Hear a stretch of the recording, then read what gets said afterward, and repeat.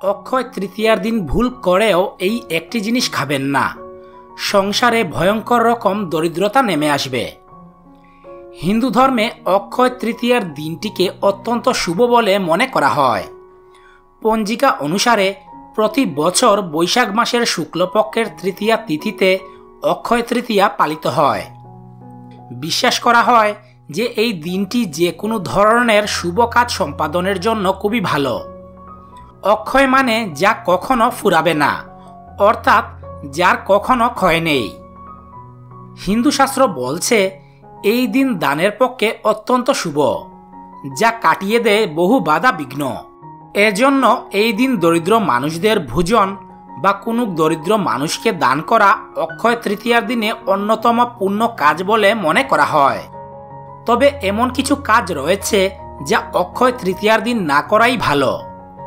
তাহলে আসুন জেনে নেই, অক্ষয় তৃতীয়ার দিনে কোন কাজগুলো ভুলেও করা উচিত নয়। তাই ভিডিওটিতে একটি লাইক দিয়ে শেষ পর্যন্ত দেখুন।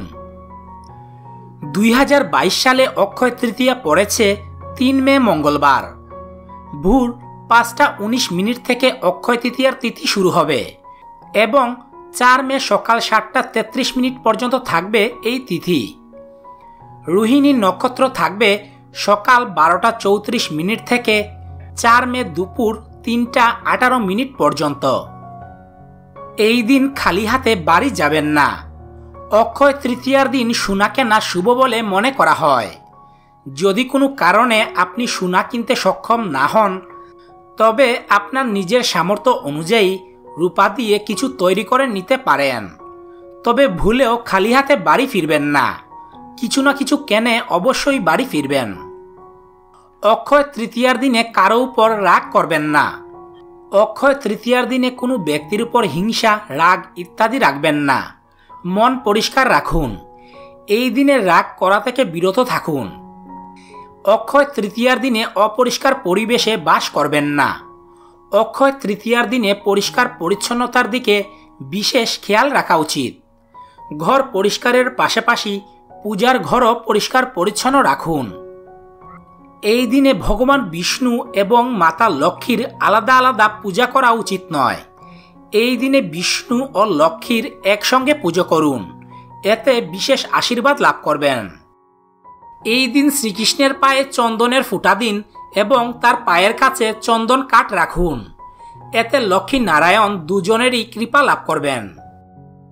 এই দিন উপোস করলে আখের রস পান করেই উপাস ভাঙার নিয়ম। এই দিন সাধারণত চাল ও মুগ ডালের খিচুড়ি খাওয়ার রেওয়াজ। অক্ষয় তৃতীয়ার দিনে ভুলেও দেরি করে ঘুম থেকে উঠা উচিত নয়। তা না হলে মা লক্ষ্মী ও দেবতা গণেশের কৃপা থেকে বঞ্চিত হবেন আপনি। অক্ষয় তৃতীয়ার দিন স্নান না করে তুলসী পাতা ছিঁড়বেন না। ভগবান বিষ্ণুর তুলসী পাতা ভীষণ প্রিয়। সে কারণে এমনটা করলে মা লক্ষ্মী অত্যন্ত কুপিত হন। অক্ষয় তৃতীয়ার দিনে ভুলেও বড়দের সাথে তর্ক বা তাদের অসম্মান করবেন না। অক্ষয় তৃতীয়ার দিনে ঘর বাড়ি নোংরা রাখবেন না। তাই অক্ষয় তৃতীয়ার আগের দিন থেকেই বাড়িঘর পরিষ্কার পরিচ্ছন্ন করে রাখুন। কারণ মা লক্ষ্মী নোংরা ও অপরিচ্ছন্নতা একেবারেই পছন্দ করেন না। তাই মা লক্ষ্মীর কৃপা লাভ করতে চাইলে অক্ষয় তৃতীয়ার দিনে বাড়িঘর পরিষ্কার পরিচ্ছন্ন রাখতে ভুলবেন না। অক্ষয় তৃতীয়ার দিনে কাউকে কটু কথা বলবেন না বা কারও সাথে ঝগড়া করবেন না। এই দিন মন মিজাজ ঠান্ডা রাখা অত্যন্ত জরুরি। অক্ষয় তৃতীয়ার দিনে ভুলেও পেঁয়াজ, রসুন, মাছ, মাংস অর্থাৎ আমিষ আহার করা সম্পূর্ণ নিষেধ। এই দিন ভগবান বিষ্ণুর কৃপা লাভ করতে চাইলে নিরামিষ খাওয়ার চেষ্টা করুন। এছাড়াও এই দিন ভুল করেও মদ্যপান করবেন না। অক্ষয় তৃতীয়ার দিন ভুল করেও এই জিনিসগুলো খেলে সংসারে ভয়ঙ্কর রকম দরিদ্রতা নেমে আসবে। এছাড়াও অক্ষয় তৃতীয়ার দিনে সন্ধ্যায় বিভিন্ন জিনিস দান করার নানা রকম নিয়ম মেনে চলতে হয়। অক্ষয় তৃতীয়ার দিনে সূর্যাস্তের সময় রসুন, পেঁয়াজ, লবণ, টক জাতীয় কোনো জিনিস দান করা উচিত নয়। বাস্তুমতে এতে পরিবারের নানা সমস্যা বৃদ্ধি পায়। এছাড়াও অক্ষয় তৃতীয়ার দিনে বাড়ি থেকে কোনো ভিক্ষুককে খালি হাতে ফেরাবেন না। এটি খুবই অশুভ বলে মনে করা হয়। যার যা সামর্থ্য রয়েছে সে অনুযায়ী দান করুন।